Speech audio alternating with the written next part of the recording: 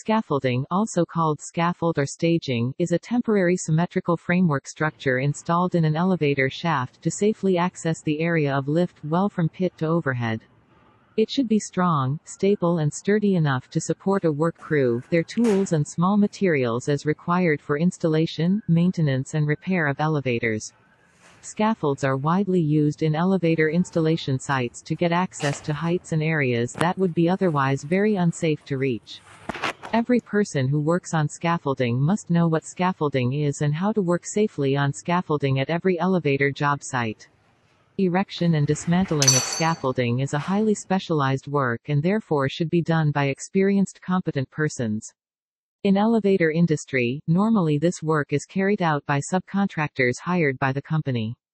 Normally these subcontractors have experienced teams who can do this work safely and also erect scaffolding which is stable and safe to use. Elevator companies must ensure before hiring subcontractors that their team are well trained for this kind of scaffolding erection work.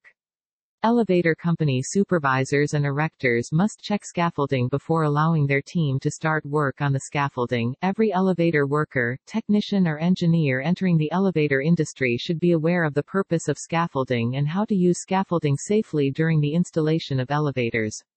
Scaffolding can be made up of timber, wood, or bamboo or round steel pipes. It should be erected in symmetrical framework, which is stable and strong to support workmen, planks for platforms, their tools and other small material placed on it. You can watch this educational video to see simple sample of a scaffolding. However you should always follow the SOP and other safety instructions issued by your elevator company or your safety officer or your supervisor.